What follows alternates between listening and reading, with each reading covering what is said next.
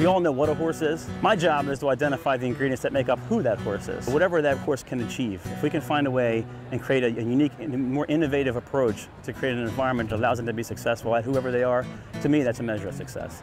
Every individual horse is a research project. I began studying wild horses in Montana and Wyoming. What I began to realize was the layers of the herd are compartmentalized by communication levels. Body language, which is primary for the lower level horses, and there is subtle body language and very much more presence and intent. You know, one of the unique things I like to look for in, in the horses is the influence on the, of the environment on their perspective.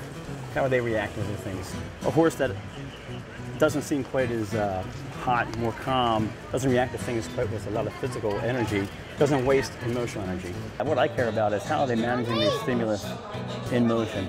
How are they reacting to things? How are they moving other horses? Are they moving them or are they being moved? How are they reacting?